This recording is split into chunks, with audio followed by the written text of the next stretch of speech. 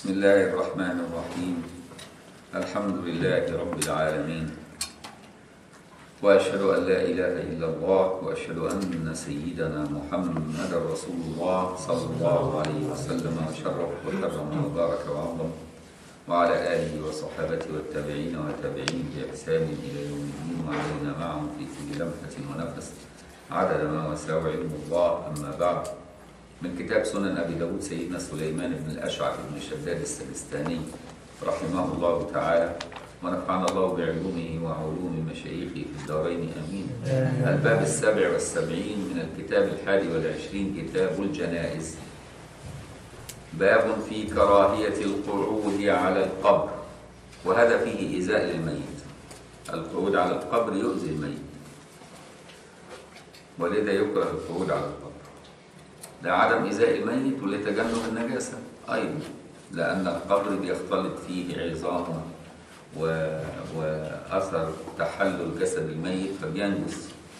فيبقى ينهى عنه لنجاسة المكان لعدم لاحتمال نجاسته. وإذا أمنت النجاسة فلسبب آخر وهو إيذاء الميت. فلا يوطأ القبر ولا يتوسد. ولا يجلس عليه ولا ينام عليه ولا يصلى فيه ولا يصلى إليه. كل دي آداب مع القبور. وكلها أحكام فقهية ليست لها علاقة بالعقائد والأصول كما اعتقد ذلك بعض المتسرعين. باب في كراهية القعود على القبر. بإسنادنا المتصل عن مشايخنا جزاهم الله عنا خير الإمام أبي داود في سنن الحديث. الثلاثين بعد المئتين والثلاثة آلاف. يقول حدثنا مسدد. قال حدثنا خالد. قال حدثنا سهيل بن أبي صالح عن أبيه عن أبي هريرة رضي الله عنه. قال قال رسول الله صلى الله عليه وآله وسلم لأن يجلس أحدكم على جمرة فتحرق ثيابه حتى تخلص إلى جلده خير له من أن يجلس على قبر. وهذا التغليظ في في التحريم. لأن يجلس أحدكم على جمرة فتحرق ثيابه حتى تخلص إلى جلده. خير له من أن يجلس على قبر. وعن أبي قال حدثنا إبراهيم بن موسى الرازي.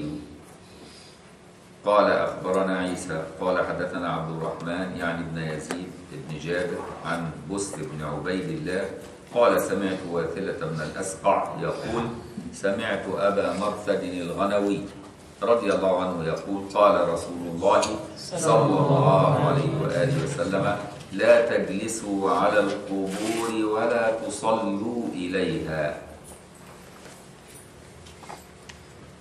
باب المشي في النعل بين القبور. نعم إحنا بنصلي قبل سيدنا ابو بكر في الموضوع لا ده ده في حاجز. مش في جدار؟ خلاص. طالما في جدار خلاص. الكلام ده لما يبقى القبر كده مشرف أمامك شايفه مفيش أي حاجز ولا حتى ستارة قماش وتصلي ويبقى النهي ده للكراهة وليس للتحريم. فإذا صلى إلى القبر صلاته صحيحة بإجماع المسلمين. ولا يوجد طبعا حد بيصلي أمام قبر مباشر. كل المساجد فيها حواجز وفيها جدر وفيها ستائر وفيها يعني يعني كذا حاجز ما تلاقيش في المسجد حاجز واحد ده تلاقي الضريح ده في حد ذاته حاجز لأنه ده بناء. وبعدين فوق الضريح حاطين ستارة. وورا الستارة حاطين حاجز حديدي. وبعدين عاملين بوابة. يعني كل دي حواجز فما ما فيش مشكلة. سيدنا عمر بن الخطاب ما شاف أحد الصحابة بيصلي إلى القبر فقال له القبر القبر. وما قالوش قاعد صلاة. يعني ما تعملش كده تاني. كانها قال له يعني ما تعملش كده تاني. ما تصليش القبر تاني. لكن قال له قاعد صلاتك. أو اقطع صلاتك صلاتك بطلت ما قالوش. باب المشي في النعل بين القبور. إذا كانت القبور غير مبنية بحيث محددة يعني بحيث إن المساحة دي كلها فيها قبور وأنت مش محدد أماكن القبور إيه. إذا مشيت يستحسن الا تمشي بنعلك. احتراما للمقبورين تمشي حافي لكن دلوقتي معظم القبور اللي موجودة في مصر بتلاقي عاملين شاهد وعاملين بناء فأنت بتمر في الطرق اللي بينها بالنعل ما فيهاش مشكلة. لأن دي طرق بينها لكن لو ما كانش فيه حدود واضحة يعني كل المساحة دي يقول لك دي قبور. طب فين علامات القبور؟ ما فيش علامات. هما بيدفنوا هنا وخلاص حيثما اتفق. يبقى هنا بقى إيه؟ يكره إنك أنت يكره ولا يحرم يكره إنك أنت تمشي في القبر بالنعل. المشي في النعل في بين القبور. وعن ابي قال حدثنا سهل بن بكار قال حدثنا الأسود بن شيبان عن خالد بن سمير السدوسي عن بشير بن نهيب عن بشير مولى رسول الله صلى الله عليه وسلم وكان اسمه في الجاهلية زحم بن معبد فهاجر إلى رسول الله صلى الله عليه وآله وسلم. فقال ما اسمك؟ قال زحم. قال بل أنت بشير. كان النبي غير الأسماء القبيحه لما يلاقي واحد اسمه قبيح كده يغيره. قال له اسمي زحم. إيه زحم؟ فقال أنت بشير. زي جات له واحدة برضه اسمها برة. قال انت إيه؟ زينب. عشان ما يبقاش البر يقول لك إيه؟ بره موجودة مفيش بر. يعني مفيش قمح يعني مفيش أكل يعني فقر. أو مفيش بر يعني مفيش خير. فما تبقاش حلوة. يعني يبقى فيها النبي كان يحب الألفاظ الجميلة اللي فيها يعني حسن إيه؟ فقر قال بل أنت بشير قال بينما أنا أماشي رسول الله صلى الله عليه وسلم مر بقبور المشركين فقال لقد سبق هؤلاء خيرا كثيرا ثلاثا. ثم مر بقبور المسلمين فقال لقد أدرك هؤلاء خيرا كثيرا. وحانت من رسول الله صلى الله عليه وسلم نظرة فإذا رجل يمشي في القبور عليه نعلان فقال يا صاحب السبتيتين أسماء اسم للنعل السبتي اللي هو من جلد لا شعر فيه. الجلد اللي شعر فيه يسموه نعل سبتي. نسبة لسبتة مدينة بتصنع فيها هذه النعال غير إيه؟ المشعورة يعني. تلاقي جلد بغير شعر. فقال يا صاحب السبتيتين ويحك ألق سبتيتيك. فنظر الرجل فلما عرف رسول الله صلى الله عليه وسلم خلعهما فرمى بهما. وعن أبي قال حدثنا محمد بن سليمان الأنباري. قال حدثنا عبد الوهاب يعني ابن عطاء عن سعيد عن قتادة عن أنس عن النبي صلى الله عليه وسلم أنه قال إن العبد إذا وضع في قبره وتولى عنه أصحابه إنه لا يسمع قرع نعالهم. قرع نعالهم هنا هل توحي إن هم يعني يبقوا لابسين النعال وهم ماشيين توحي بهذا. عشان كده قال لك إن التحريم النهي هنا للكراهة وليس للتحريم. يبقى النهي هنا للقراءة للكراهة وليس للتحريم. أو إن قيدوا بعض العلماء قال لك إن كانت مبنية كما قلت في المقدمة فلا بأس أن يمشي في الطرق بينها. وإن كانت غير مبنية وغير واضحة فالأفضل في حقه أن يسير بغير نعله باب في تحويل الميت من موضعه للأمر يحدث. هل يجوز نبش القبر وأخذ الجثة بعد دفنها لنقلها إلى قبر آخر؟ نبش القبر عندنا حرام حرام من الكبائر كمان. يعني عدوه كثير من العلماء أن نبش القبور بغير ضرورة كبيرة من الكبائر لأنها فيها انتهاك حرمة المسلم وانتهاك حرمة المسلم من الكبائر. لكن أجاز العلماء نبش القبر لظروف. كأن يكون حديث الدفن ولم يصلى لم يغسل. حديث الدفن ولم يغسل. نطلعه تاني ونغسله أو أنه دفن في قبر مغصوب. أرض مش ملك. وجم صحاب الأرض بيطالبوا بيها. وطلعت الأرض مش ملك بقت أرض مغصوب. يبقى في الحالة دي نطلعه وندفنه في أرض إيه غير مغصوب.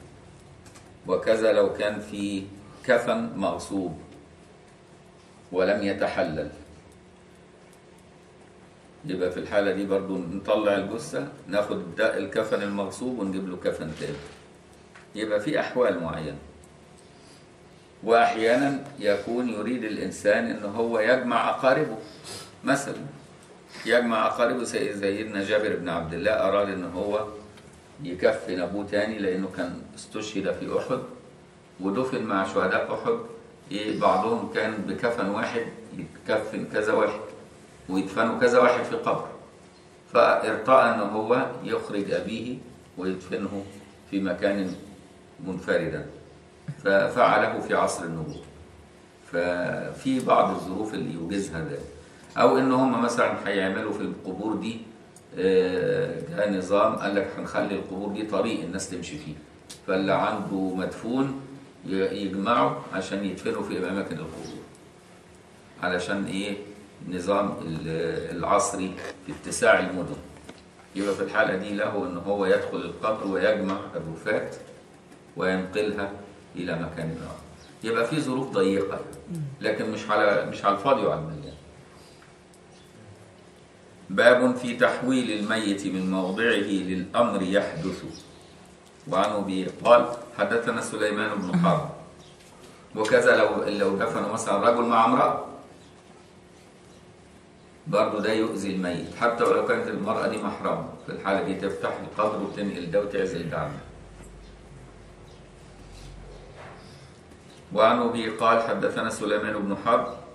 قال حدثنا حماد بن زيد. عن سعيد بن يزيد أبي مسلمة عن أبي نضرة عن جابر رضي الله عنه قال دفن مع أبي رجل فكان في نفسي من ذلك حاجة.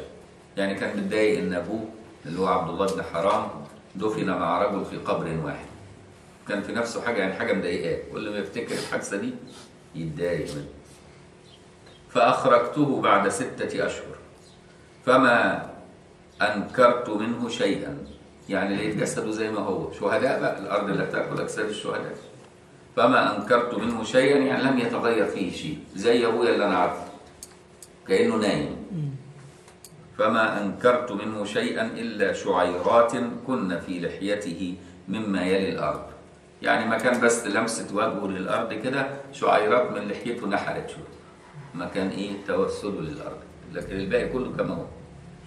ودي حال الشهداء والأولياء والمؤذن المحتسب وقارئ القرآن العامل به وكذا الأنبياء والأولياء كل دول الأرض لا تأكل أجسادهم ومعلومة يعني يعني الشيخ إبراهيم محمد إبراهيم عبد الباعث وهو يعني موجود في الإسكندرية الآن دي حاجة إحنا عايشينها. أبوه الشيخ إبراهيم عبد الباعث دفن في قبور للمسلمين في الإسكندرية. وبعدين كان بود أهل الإسكندرية كلهم إن هم يدفنوه في المسجد اللي قضى 40 سنة من عمره فيه يقرأ فيه صحيح البخاري ويعلم الناس ويخطب الجمعة. كان راجل صالح. وأهل الإسكندرية كانوا يحبوه. وقضى أكثر من 40 عاما يقرأ البخاري سنويا في رمضان يختمه. يبتدي البخاري أول يوم يقرأ يوميا يختمه آخر يوم في رمضان. قعد كده 40 سنة. فكان راجل يعني محبوب للناس وكان يقضي حوائج الناس ومستجاب الدعوة وراجل طيب. فلما دفن بعيد عن مسجده الناس زعلوا وقعدوا يعملوا طلبات عند رئيس الجمهورية وكان ايامها السادات إن إحنا يعني تسمح لنا إننا ننقله علشان إيه؟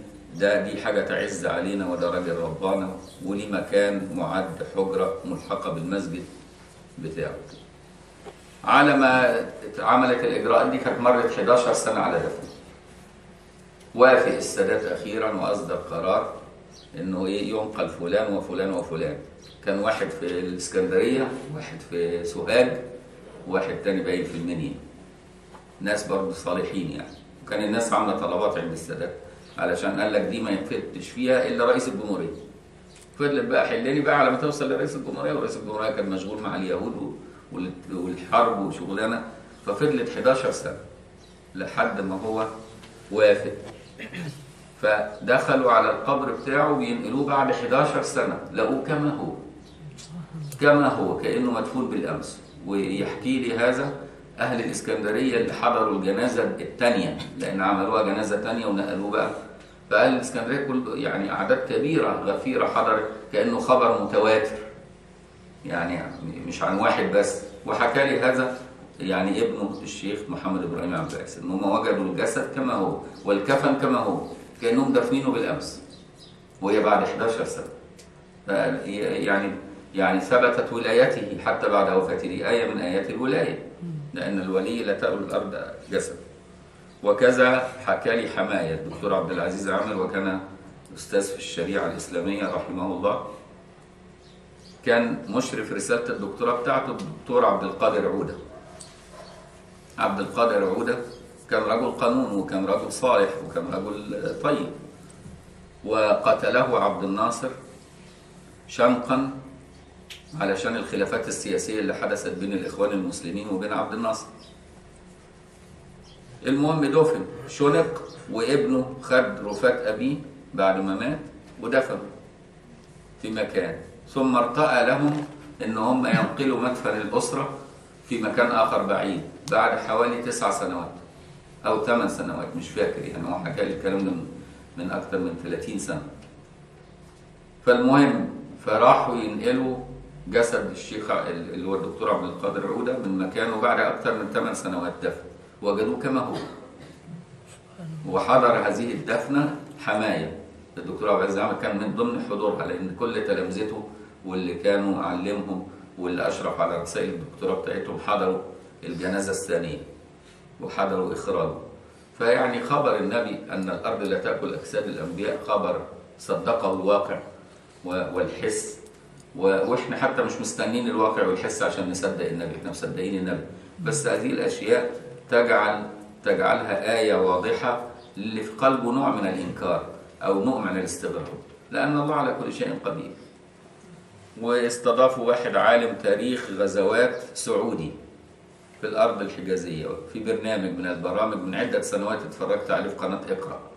وكان بينقب عن أماكن الغزوات أيام النبي صلى الله عليه وسلم ويشوفها حاليا فين عشان يحددها. وبيقول بقينا نحفر ونعمل نجد أجساد صحابة كما هي. وقال كده يعني كثيرا يعني لدرجة إن بيقول وجدوا جسد أحد الصحابة حاطط إيده على جنبه. وهم بينقلوه أو بيعلنوه اترفع فوجد الدم هيخرج فحطوا إيده تاني. بيقول هذا يعني يقينا وإنه حضرها بعين رأسه ورآها.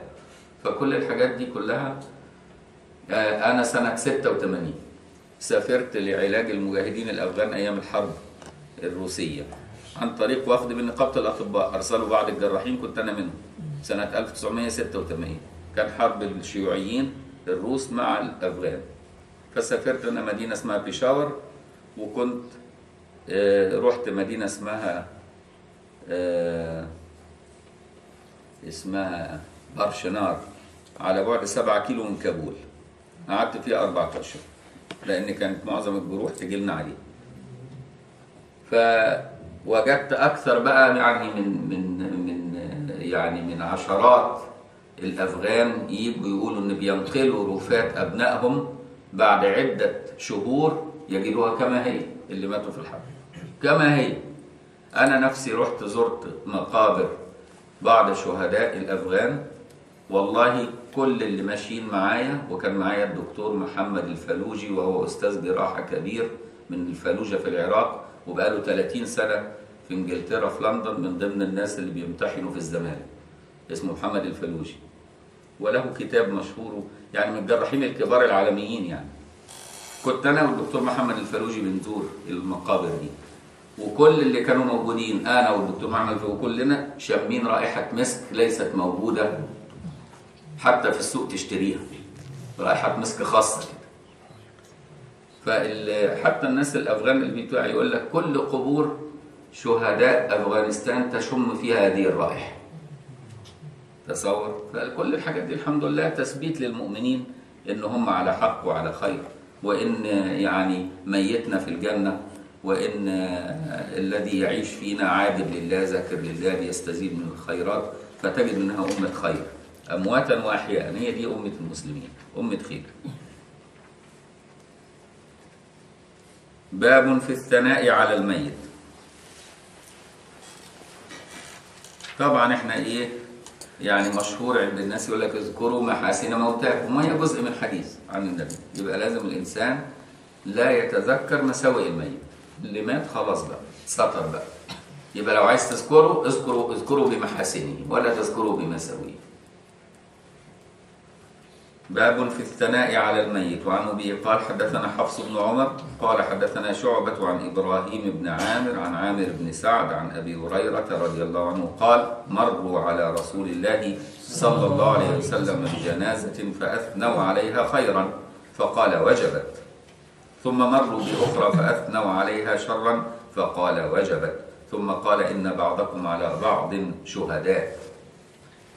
مروا على جنازة تانية ده منافق ومجرم وكافر. فكأن ألسنة الخلق أقلام الحق. علشان كده الصوفية عندهم الكلمة دي بقى. الصوفية جابوها من هنا جابوها من الحديث ده. فقالوا إيه؟ ألسنة الخلق أقلام الحق. فالناس لما تثني على إنسان الثناء ده من الله. أجراه على ألسنة الخلق. ولما تذم إنسان ده من الله أجرى الله على ألسنة الخلق. حتى يحذر الناس سيرة هؤلاء الفجر. وعلشان كده شهادة الناس دي لأنه ما بيبقوش متفقين على إن هيقولوا إيه. ده دي حاجة ربنا بيلقيها في القلوب كده.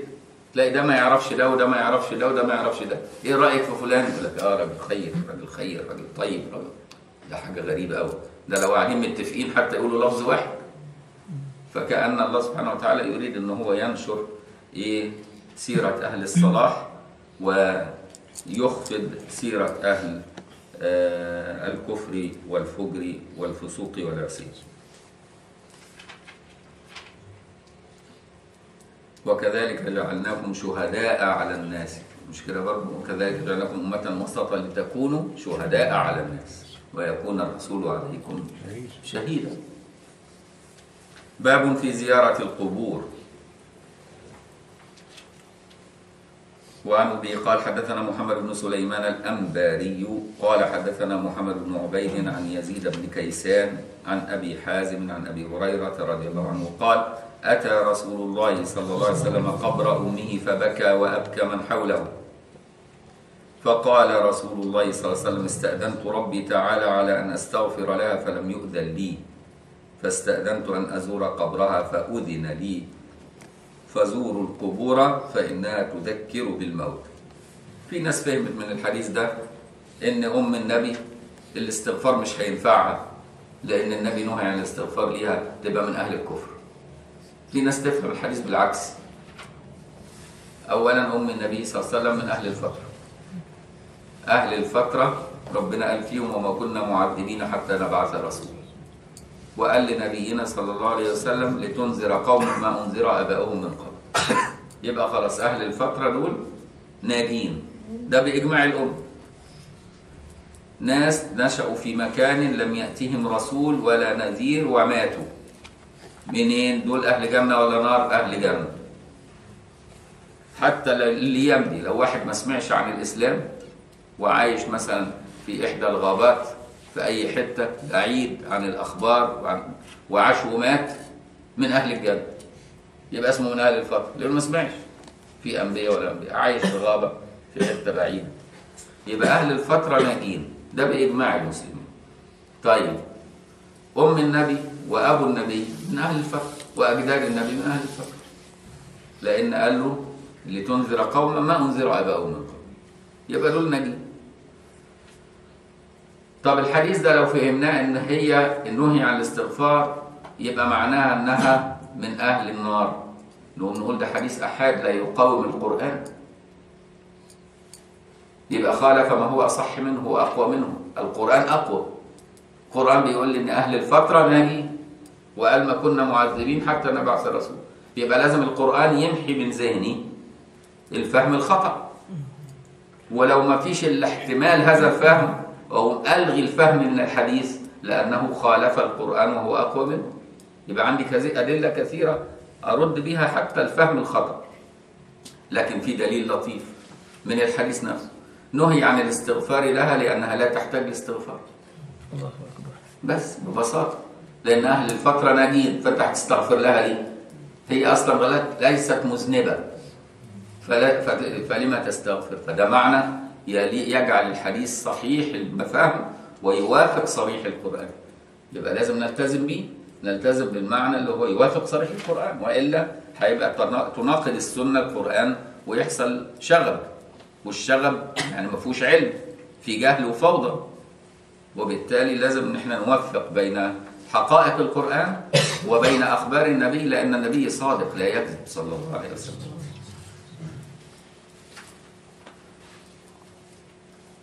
استأذنت ربي على أن أستغفر لها فلم يؤذن لي.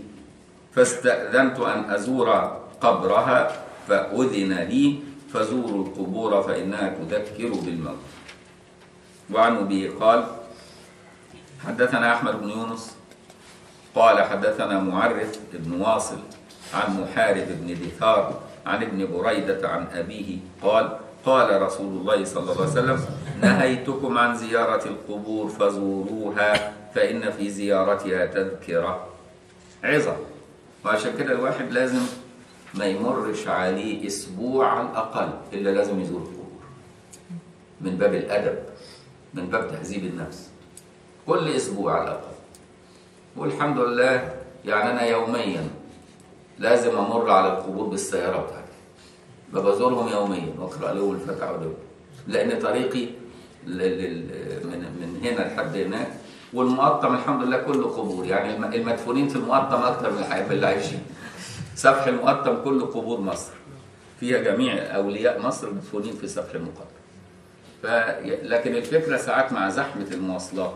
تبقى أنت راكب وماشي بالسيارة بتاعتك في وسط القبور وتنسى إنك أنت تنوي زيارة أهل القبور. برضه صلاح سالم طريق صلاح سالم ده. تلاقي القبور على الجانبين. سلم عليهم بس قول سلام عليكم ده رقم المؤمنين وأنت ماشي يعني. تلاقي نفسك بتزور القبور كل يوم استحضر عظة الموت وإن دي نهايتك. دلوقتي طاير بعربية وعندك مش عارف عمارة فين وعندك مشاريع إيه. بعد كده هتنام جنب دول. اتقي الله بقى.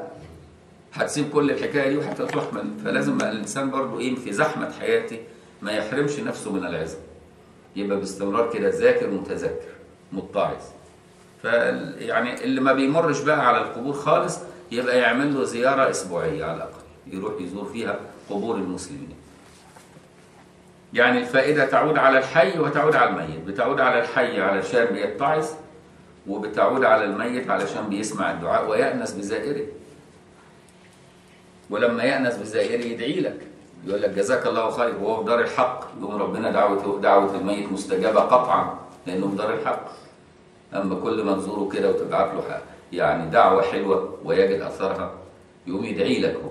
تبص تلاقي إيه؟ ربنا سبحانه وتعالى ميسر لك أمورك ومبارك لك في حياتك ومبارك لك في نواياك وفي أعمالك بدون ما تشعر.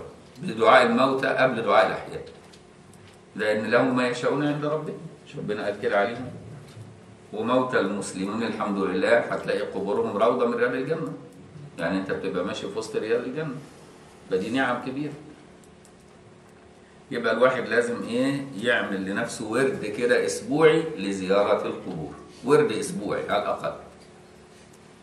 باب في زيارة النبي صلى الله عليه وسلم كان يزور القبور يوميا وأكثر يعني شوف شبه يوميا. لدرجة كانت ستنا عائشة تفتقد قبل الفجر بساعة وساعتين تجده جاي من من قبل من جهة البقيع. يعني رايح يزور البقيع لأن النبي كان عنده الليل زي النهار. كان يرى في الليل كما يرى بالنهار فكان يروح يزور البقيع قبل الفجر بساعتين بعد ما يصلي قيام الليل يطلع البقيع يقعد يدعي لهم شوية ويرجع. تقوم ستنا عائشه تصحى تستيقظ تلاقيه جاي من جهة البقيع. فكان كثير ما يزور وكان يزور أهل أحد تقريبا مرة كل أسبوع كل سبت.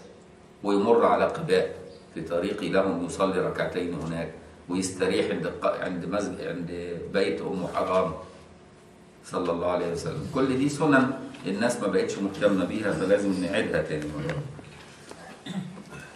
باب في زيارة النساء القبور وعن أبي قال حدثنا محمد بن كثير قال أخبرنا شعبة عن محمد بن جحادة قال سمعت أبا صالح يحدث عن ابن عباس رضي الله عنهما قال لعن لعن رسول الله صلى الله عليه وسلم زائرات القبور والمتخذين عليها المساجد والسرج.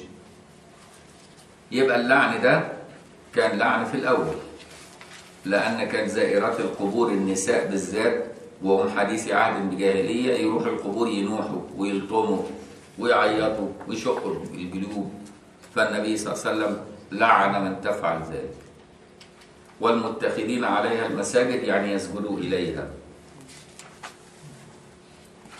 عبادة لها. والسرج يعني نوروها بالنور بال- بالنار لأن كان زمان الإنارة كانت بعبارة عن السراج اللي هو النار. والنار يؤذي الميت. لما تيجي تولع شمعة مثلا تولع حاجة في قبر الميت الميت يتأذى من النار أي شيء. يا نار حقيقي يا حاجة لبستها النار. كل ده يؤذي الميت. فالنبي صلى الله عليه وسلم نهى عن ذلك. ثم بعد ذلك أجاز زيارة القبور للنساء بعد عدة سنوات لما تأدبوا بآداب الإسلام وتحلوا بإيه؟ بالصبر والرضا بقضاء الله. قال قد كنت نهيتكم عن زيارة القبور ألا فزوروها فإنها تذكركم الموت فدخل في الأمر النساء والرجال. باب ما يقول إذا زار القبور أو مر بها. وعن أبي قال حدثنا القعنبي عن مالك عن العلاء بن عبد الرحمن عن أبيه عن أبي هريرة رضي الله عنه أن رسول الله صلى الله عليه وسلم خرج إلى المقبرة فقال السلام عليكم دار قوم مؤمنين وأنا إن شاء الله بكم لاحقون. وده دعاء قصير لطيف. ووارد في طرق تانية إنك تدعو لهم بالمغفرة. تقول اللهم اغفر لهم وارحمهم وعافهم واعف عنهم. وإنك انت تقول اللهم لا تفتنا بعدهم ولا تحرمنا أجرهم واغفر لنا ولهم. كل ده جائز. والوقت استحسن الناس. قراءة الفاتحة على أساس أنها دعاء موجز فيه كل شيء. في كل المراد. وعلشان كده إيه الناس استحسنوا قراءة الفاتحة على الموتى. واستأنسوا بأنك تقرأها في صلاة الجنازة. فصلاة الجنازة على الميت وللميت والشفاعة بالميت وفيها قراءة الفاتحة من القرآن. فلا بأس أن تقرأ الفاتحة على الميت لأنك لك أسوة في صلاة الجنازة. باب المحرم يموت كيف يصنع به. آه لو مات محرما بقى. نعمل فيه إيه؟ لأن المحرم لا تغطى رأسه. هل بعد الوفاة تستمر أحكام الحياة؟ الأحكام الدينية المتعلقة بالحياة لا تستمر إلا مع الشهيد والمي وال- والمحرم. بس. الشهيد والمحرم بس. إنما الباقي خلاص. أحكام الحياة بتسلب عنه خلاص. انتهي. حتى ملكه بيسلب منه إرث ويبقى تركة. لكن المحرم يظل محرما حتى وهو بيدفن. فلا يغطى رأسه. ولا يطيب. يعني إحنا بنطيب الميت لما نغسله نجيب كافور نجيب حاجة. ونحطها في الغسلة الأخيرة. المحرم لا ما يستعملش الطيب لأن يحرم استعمال الطيب. وهكذا. فيبقى خاص به يعني يبعث يوم القيامة ملبية كما أخبر صلى الله عليه وسلم. بعض العلماء قال لك إن هذا الحديث خاص بالراجل ده اللي النبي قال عليه كده وبالتالي يبقى المحرم يغسل ويكفن ويغطى كسائر الموتى وده مذهب الملكية. والشافعية قالوا لا ليس حكما خاصا به بل حكم عام لكل محرم يموت محرما. كويس؟ فهي خلاف بين المذاهب. باب المحرم يموت كيف يصنع. وعن أبي قال حدثنا محمد بن كثير قال أخبرنا سفيان قال حدثني عمرو بن دينار عن سعيد بن جبير عن ابن عباس رضي الله عنه عنهما قال اتي النبي صلى الله عليه وسلم برجل وقصته راحلته وقصته راحلته يعني إيه؟ الراحلة اللي هي الجمل. اللي عليها الهودج يسموه الراحلة. وقصته يعني وقعته على ظهرها وداست على عنقه. يبقى معناه قتلته يعني. حادثة عربية بقى دلوقتي. يعني واحد مات في حادثة عربية. ما الجمل كان هو العربية؟ أيامه فطصه جمل زي طصته عربية. يبقى حادثة عربية. وقصته يعني وقعته من فوقيها وراحت في الزحام. أنت عارف زحام الحج بقى؟ فراحت دايسة كمان عليه. من كثرة زحام النوق والجمال بتبقى هي أعداد كبيرة في القوافل اللي ماشية فبيبقى زحام. فالرجل مات هذه الموت أتي النبي صلى الله عليه وسلم برجل وقصته راحلته فمات وهو محرم فقال كفنوه في ثوبيه واغسلوه بماء وسدر والسدر ده نوع من الصابون لا رائحة له. يعني نظافة لكن بلا رائحة. وعشان كده أجاز العلماء استعمال الصابون بلا رائحة للمحرم للتنظيف. يعني وأنت محرم ممكن تغسل إيدك بصابون بس بلا رائحة يبقى صابون مخصوص كده. اغسلوه بماء وسدر أي إن في الغسلات كلها سدرا ولا تخمروا رأسه ولا تقربوه طيبا وكان الكفن من جميع الماء. وعن أبي قال في رواية تانية غير رواية أبي داود قال فإنه يبعث يوم القيامة محرم. أو ملبيا وعن أبي قال حدثنا سليمان بن حرب ومحمد بن عبيد المعنى. قال حدثنا حماد عن عمرو وأيوب عن سعيد بن جبير عن ابن عباس رضي الله عنهما نحوه. قال وكفنه في ثوبين. ثوبين يعني الإيه؟ الرداء والإزار. يعني الرداء والإزار بتوعه. لبس الإحرام بتاعه كفنوه فيه وقال عمرو في ثوبيه. زاد سليمان وحده ولا تحنطوه. تحنطوه يعني تطيبوه. والحنوط هو طيب الموتى. الطيب المستعمل للموتى يسموه حنوط. وعن أبي قال حدثنا مسدد قال حدثنا حماد عن أيوب عن سعيد بن جبير عن ابن عباس نحوه بمعنى سليمان في ثوبين والحديث الأخير في هذا الباب وفي كتاب الجنائز. وعن أبي قال حدثنا عثمان بن أبي شيبة قال حدثنا جرير عن منصور عن الحكم عن سعيد بن جبير عن ابن عباس رضي الله عنهما قال وقصت برجل محرم ناقته فقتلته. فأتي به رسول الله صلى الله عليه وآله وسلم فقال اغسلوه وكفنوه ولا تغطوا رأسه ولا تقربوه طيبا فإنه يبعث يهل. يهل يعني يلبي. ونقف على كتاب الأيمان والنذور وفيه 32 بابا نقرأه. نستفتحه غدا إن شاء الله. ثم أجازة. يوم الثلاثاء والأربعاء والخميس والجمعة والسبت والأحد. ثم نلتقي فجر الاثنين. يبقى هنلتقي فجر الاثنين بكرة ثم فجر الاثنين الذي يليه إن شاء الله. وكل عام وأنتم بخير. وتقبل الله منا ومنكم. ونذكركم بإحياء ليلة العيد. بكرة هتبقى ليلة العيد. يعني بعد العشاء بكرة هتبقى دي اسمها ليلة العيد. إحياء ليلة العيد سنة مطلوبة. فتصلي بعد العشاء كده يعني 11 ركعة تقرأ في كل ركعة كده قد جزء قرآن ولا ربعين ولا حزب. طول شوية يعني عيش مع القرآن شوية ليلة العيد كده حلو بدل ما تعيش مع العجل والأضحية. عيش مع العجل تاني يوم والأضحية تاني يوم مش مشكلة. يعني خلي اللحمة ليها وقتها والصلاة ليها وقتها والعبادة ليها وقتها عشان تاخد حظك من كل شيء.